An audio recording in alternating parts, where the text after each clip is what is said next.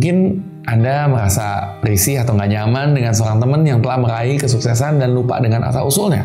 Ya, nggak ada yang salah dengan sukses, tetapi ketika kita lupa daratan dan mulai melupakan orang-orang yang berkontribusi dalam perjalanan kita, itu bisa jadi masalah ya. Nah, jika Anda menemui situasi seperti ini dan merasa kesulitan bagaimana sih sebetulnya cara ngingetin sahabat yang udah lupa daratan, video ini dibuat untuk Anda. Berikut adalah 5 strategi efektif mengingatkan teman yang lupa daratan setelah sukses. Yang pertama, coba deh untuk ajak nongkrong di tempat-tempat favorit kalian.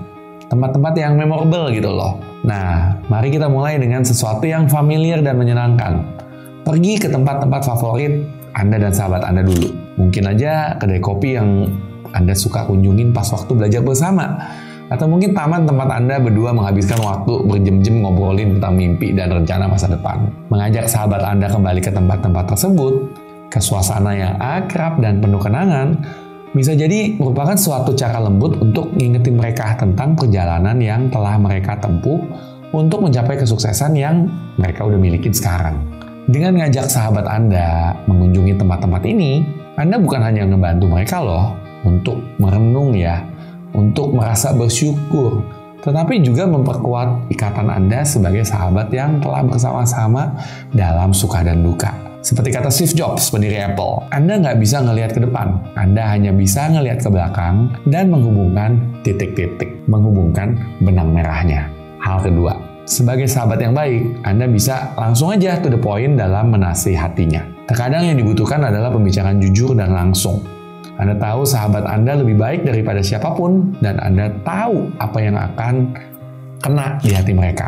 Mungkin mereka adalah tipe orang yang menghargai kejujuran brutal atau mungkin mereka perlu mendengar pesan Anda melalui cerita atau analogi.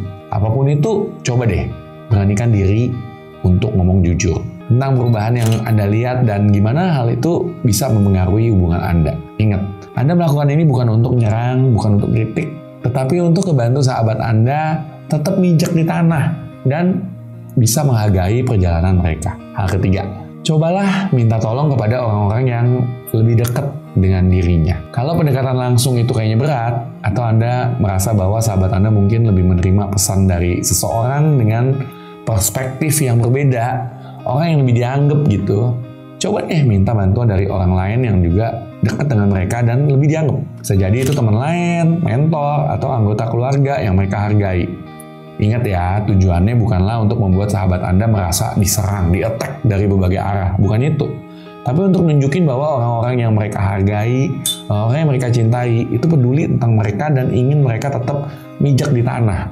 Dan menghargai perjalanan mereka menuju sukses. Hal keempat nih, jangan pernah menyindirnya melalui media sosial. Sekarang kalau kita bicara tentang media sosial, medsos, alat ini kuat banget dan sering kali bisa jadi dua sisi. Satu sisi bisa jadi satu cara yang efektif untuk komunikasi, untuk sharing pengalaman. Namun di sisi lain bisa jadi panggung juga untuk konflik dan masalah gitu kalau digunakan dengan cara yang salah. Saat kita nemuin situasi di mana sahabat kita lupa daratan, mungkin ini menjadi sesuatu yang menggoda ya untuk ngelemparin sindiran atau bahkan mengkritiknya secara terbuka di medsos. Namun ingat deh, bahwa tindakan seperti ini jarang kok bawa hasil yang positif. Bahkan bisa jadi memicu perpecahan dan merusak hubungan yang udah dibangun saat ini. Jadi coba deh ingat untuk selalu menghargai privasi, hargai harga diri masing-masing, dan kalau perlu, coba deh untuk bicarakan permasalahan tersebut secara pribadi guys. Terakhir, namun tentunya bukan paling tidak penting, adalah konsep bahwa di atas langit masih ada langit. Mungkin Anda pernah mendengar peribahasa ini sebelumnya, dan ini adalah cara bijak untuk mengingatkan kita semua bahwa tidak ada yang absolut. Nggak ada yang pasti dalam kehidupan ini, termasuk juga sukses. Bagaimanapun, sukses seseorang selalu ada ruang untuk belajar untuk tumbuh, untuk menjadi lebih baik. Katakan ini kepada sahabat Anda saat ngobrol, bukan sebagai cara untuk merendahin mereka, meremehkan mereka, tapi untuk ngingetin bahwa masih banyak loh hal-hal yang bisa dipelajari dan masih banyak loh cara untuk bertumbuh. Seperti contoh dari sebuah perusahaan besar seperti Google. Meskipun sekarang udah merupakan salah satu perusahaan teknologi terbesar di dunia. Mereka tetap punya prinsip kok bahwa selalu ada ruang untuk inovasi. Dan ini adalah cara mereka untuk tetap rendah hati dan terus mendorong diri untuk belajar dan tumbuh. Jadi, ingat deh, untuk selalu mengingatkan sahabat Anda bahwa sekali lagi di atas langit masih ada langit. Dan semoga ini membantu mereka tetap mijak bumi, rendah hati, dan berterima kasih atas pencapaian yang telah mereka raih. Seperti yang pernah dikatakan oleh Bill Gates sekali lagi, sukses adalah guru yang jelek.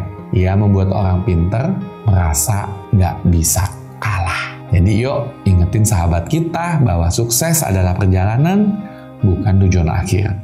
Terima kasih telah menonton video ini. Sampai jumpa di video berikutnya. Saya Coach Chandra, salam miliarder.